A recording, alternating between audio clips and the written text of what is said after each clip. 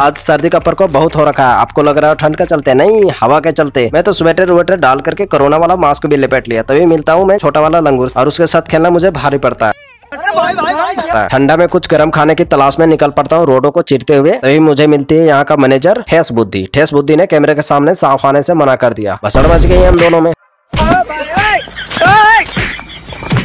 से समोसा लेके निकल पड़ता हूँ, दोनों लंगूर के पास, ताकि वो दोनों मान जाए। बैठ के यहाँ पास इंतज़ार करते रहता हूँ।